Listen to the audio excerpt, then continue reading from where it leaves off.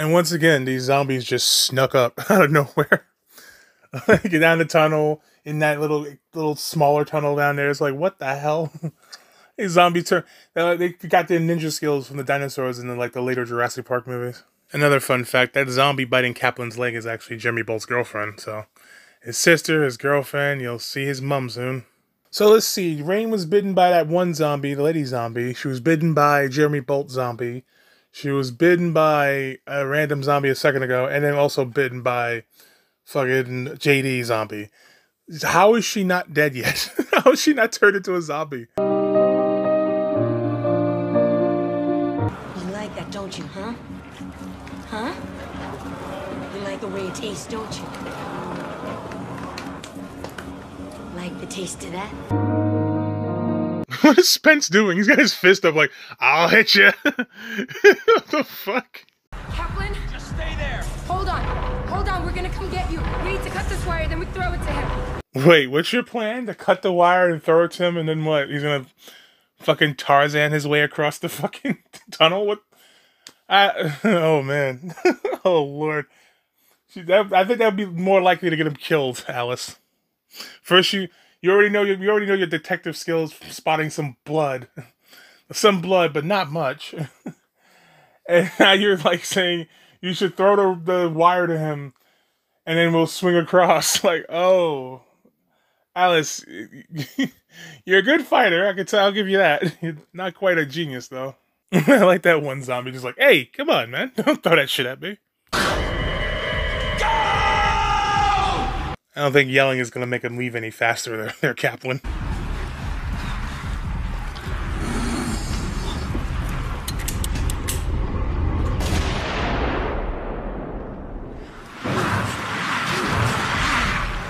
Yeah, I, I, don't like that. I'm not okay with that at all. That they show that they show cut to Alice's face as he hears the gunshot, and you cut back to Kaplan and reveals like, oh, he didn't kill himself. It's like, yeah, that would have been better if you saved it for later in the film where you see what happened. Hell, you could have even did it in flashback. That could have even been a flashback scene when you see that. You know, but instead they revealed it here, and now it's like, well, we know he's alive, so he's gonna do something to help the heroes in the end, right? so I don't know. That's kind of a even I think Michelle Rodriguez and Milla Jovovich called him on this in the DVD commentary, and he kind of jokingly brushed it off, and I was just like, yeah, but no, seriously, why did you why did you do it that way? does it doesn't make much sense.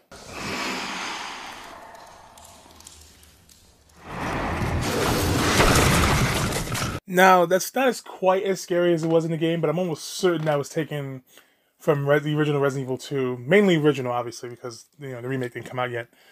But um, it was taken from Resident Evil 2, I think, where the clicker crawls across the window.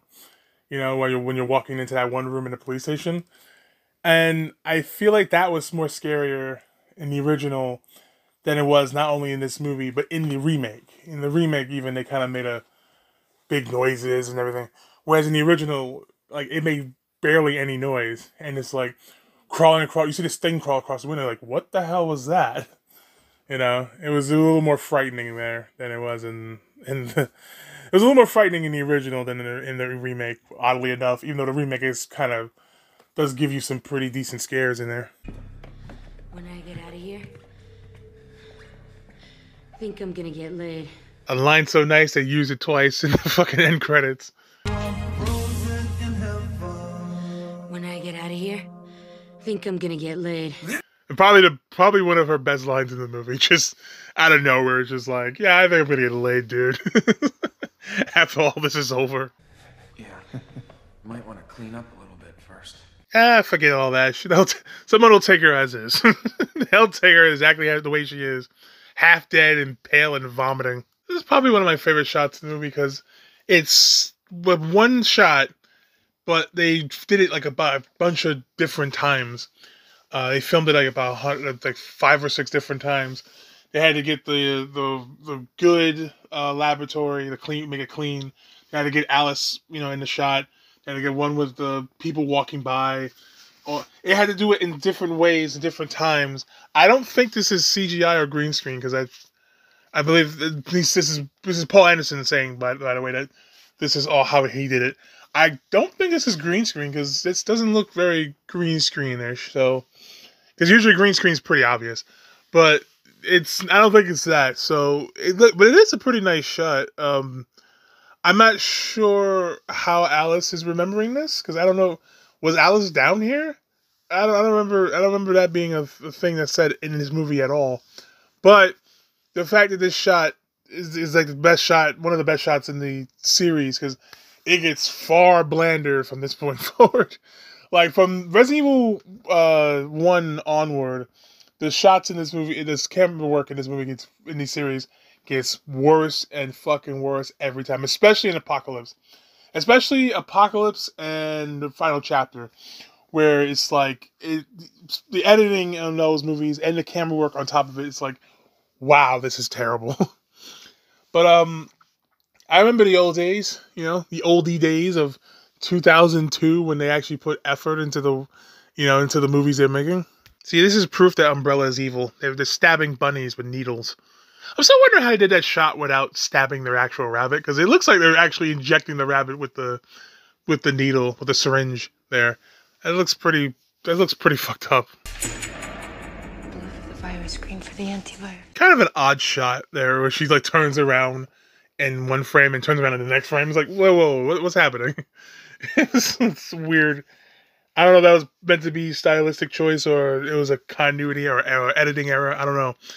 I'm gonna go with editing error because there's no stylistic choice for that. That just looks stupid and, and, overall. But um, it doesn't kill the rest of the shot. You know that the previous shot, but the you know the her seeing the hive or remembering the hive as you know being better, looking better, and all that. But it's it still was kind of a strange editing choice. There's a cure. You're gonna be okay. I was beginning to worry. See, lines like that make me wish Rain had stick around, stuck around for the other movies. You know, she will be back in ex- in Retribution as a civilian clone and as a soldier, a commando clone. So she will be back in a dual role for the next movie, for the next like two movies, three movies later. So she'll she'll be back, but I wish she stuck around for this franchise. I actually prefer her over Alice. Alice, at a certain point, just became like, you know, she became this hardened character. Then she became this more uh, desperate kind of broken character, where she was like, um, she's looking for this this island or it was Alaska. She's looking for this place in Alaska, which turned out to be an umbrella trap. And in afterlife, it turned out the Umbrella Corporation was trapping people. It'd have been nice if they had, you know, stuck to their guns on that instead of just whatever. And then by after in afterlife onward, she was just she was just like lol killing zombies you know, OMG zombie killing, lol. it's like, fucking hell. um, but Michelle Rodriguez was the only character I consistently liked in these movies. As far as like in Resident Evil 1, I liked her. I liked her a lot in Retribution. I will say she's also the MVP of that movie, but it's between her and maybe Kevin Durand as Barry Burton. Not because he's Barry Burton, um, but because I like Kevin Durand and, as that character in any way. Like if you told me, if you didn't tell me that was Barry Burton, I'd be like, yeah, I, I still I like that character. So, but it's Barry Burton, and he looks way younger than he than Barry does in the game, which is kind of funny. Um, then you got Luther Rain. No, Luther Luther West. Luther Reigns was a wrestler, by the way. Luther West. I like his character in Afterlife and Retribution. Um, they made the terrible mistake of killing him off. Why? like they killed off one of the best characters. The only one of their only likable and relatable characters.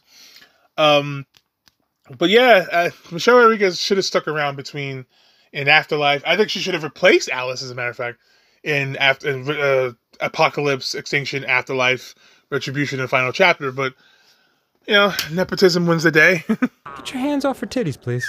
Slightly interesting idea to have Spence have gain, gain regain his memory. Uh, we see things through his eyes. We find out he's the one who did everything. Um, I'm not sure why Alice got her memory back at the same time. Seems kind of convenient. hey, we both got our memories back at the same time. By the way, I just noticed she calls him Spence. We never once hear her name in the movie. We see her name in the credits, but we never hear Alice's name said in the movie. So I think that's kind of interesting, an interesting thing to think about. And there goes that handwriting error I was talking about earlier. Like I, again, like I said, they could have at least had him write the note first, and then use that prop for Alice's scene at the beginning of the movie. But it's obvious that's not what they did. Otherwise, I don't know why. But the handwriting is completely different. And there goes that other continuity error I was talking about the fact that he's not wearing a mask like he was in the earlier scene at the beginning. You know, it's all coming full circle. It's all come full circle here. All the continuity errors have been brought to light here. Please. I wouldn't want to shoot you. Might need the bullets. Back off. I swear Eric Mabius has some of the funniest looking faces in his movie. Like, he's just got, I mean, I'm, I don't want to knock the guy, but he seems like a good, decent actor. But my God, his, his faces he makes are just like so chuckle inducing. just like immediately, like, eh, like I can think of like nine faces he makes in this movie that just kill me every time I see it. Where? Where is the antivirus? It's on the train. Where you found me? So the antivirus is on the train where they found him, and these commandos or any no one else thought to search this train beforehand. no one thought about searching the train before you whatever. How did they not see or even look in the room where he was in? Because if you, if I, I just remembered when he goes into the train station later, he the the duffel bag with the virus and stuff is just sitting in in the drain on the on outside the train. And I was like, how did no one see that at all? Once again, I still don't know why Anna Bolt is still in the water there. well, like I said, two of the zombies that were there, they moved on. You know, one was in the in the dining hall B, the other was in the tunnels. She's still here for some reason, I, and then she decided now to get up for the sake of the plot because the plot said so. The script said she had to get up now and actually be active for once, and then now she does. It's like, yikes, that's great. That's just kind of dumb to me. I feel like they did so so they can give Spence an excuse to try to use the, the cure, the T virus cure or something.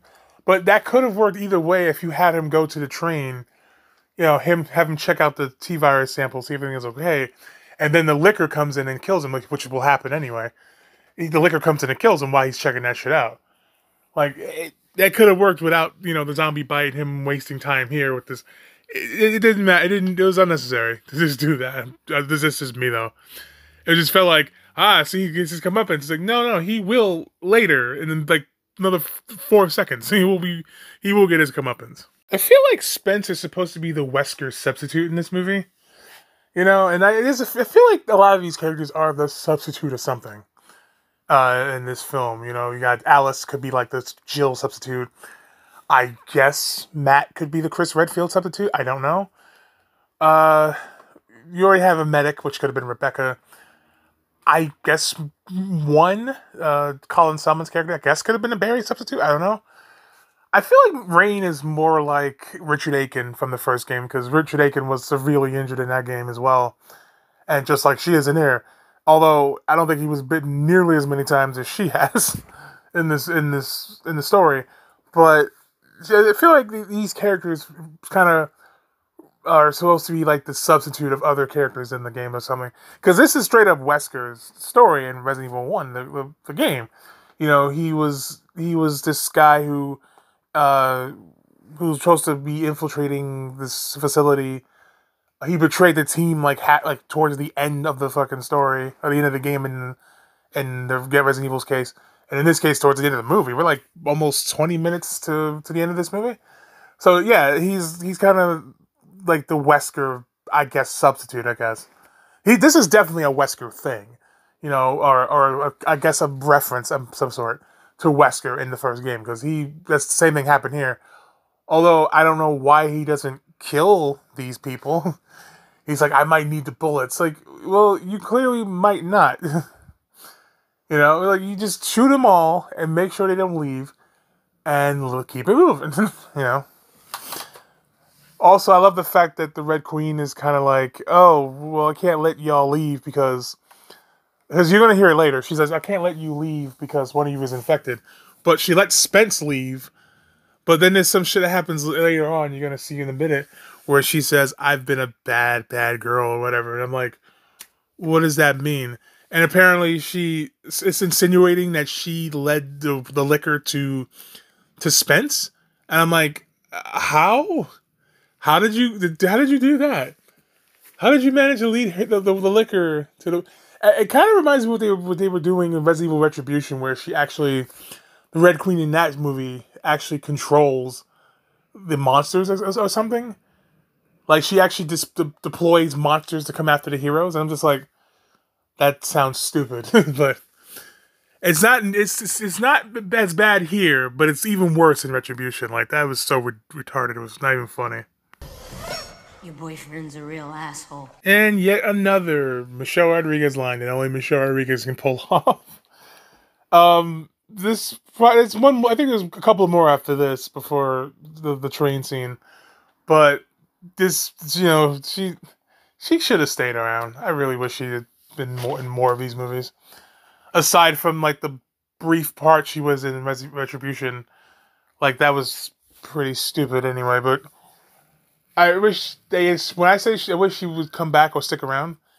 I mean, as herself, and she lived in this movie, not bring her back as like two other clones, which made no fucking sense to me at all. well, I'll get to that when we get to that movie. Uh, fuck me, I I, I can't wait. I can't believe that son of a bitch is gonna get away with this. I don't think so. I've been a bad, bad girl. So, according to Milla Jovovich, this line sounded a lot more sexual than it, it was intended to sound when they had an American girl do this voice. Apparently, the Red Queen was supposed to be voiced by an American child, and it sounded way too sexual when she said that part of at least when she said that part. So I guess they went with the British girl, and I. It doesn't sound much different, but I, I really am like, what?